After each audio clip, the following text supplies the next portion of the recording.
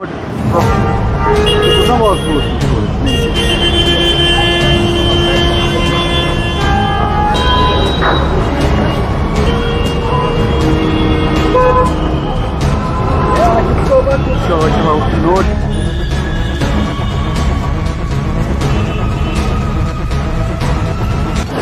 Smart city में अभी हम मौजूद हैं। श्रीनगर का लाल चौक बिल्कुल घंटाघर के पास।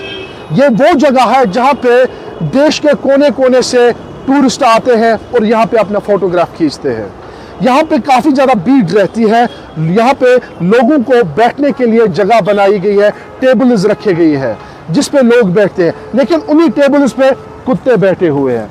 ये आप तस्वीरें देख सकते हैं श्रीनगर के लाल चौक की, जहाँ पे इन बेंचेस पे, इन बेंचेस पे टूरिस्ट बैठते हैं, इन बेंचेस पे आम नागरिक बैठते हैं। लेकिन बदकिस्मती की बात यह है कि इन पे कुत्ते बैठे हैं।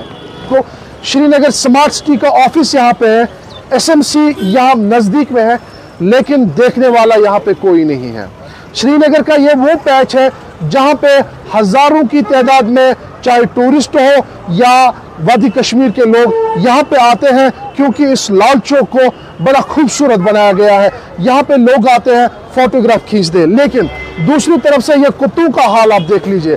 आवारा कुत्ते इतने श्रीनगर में बढ़ गए हैं, यहाँ पे बैठने की जगह अब नहीं है।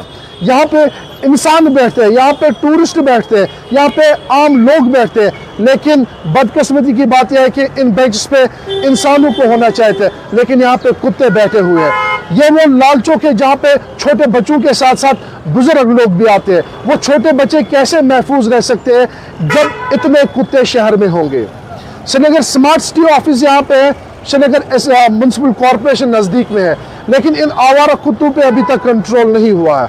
हालाँकि सरकार श्रीनगर म्यूनसिपल कॉरपोरेशन हो या स्मार्ट सिटी लगातार प्रयास कर रही है कि हम इन आवारा कुत्तों को जो है काबू में लाए। लेकिन दूसरी तरफ़ से इन आवारा कुत्तों को आप देख लीजिए कि कैसे जो है यहाँ पे आवारा कुत्ते इन टेबल्स पे बैठे हैं, जहाँ पे इंसानों को बैठना होता था।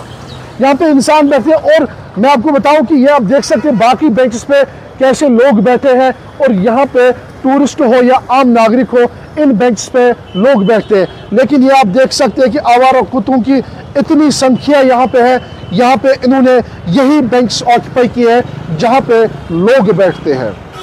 कहाँ पे चूक है? कहाँ पे कोताही है, ये ज़रा देखने वाली बात है। और श्रीनगर म्यूनसिपल कॉरपोरेशन हो या श्रीनगर स्मार्ट सिटी क्योंकि स्मार्ट सिटी के तहत इस लाल चौक को बड़ा खूबसूरत बनाया गया है। और यहाँ पे टूरिस्ट आते हैं मुल्क के अलग अलग हिस्सों से टूरिस्ट आते हैं। जब वो ये सूरत हाल यहाँ श्रीनगर के लाल चौक में देखे तो शहर की इमेज क्या बाहर जाएगी?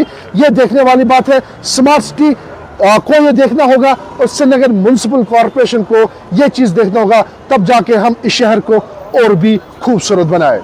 बाकी अपडेट्स आप तक पहुँचाएँगे, तब तक आप देखते रहिए जेके न्यूज़ पॉइंट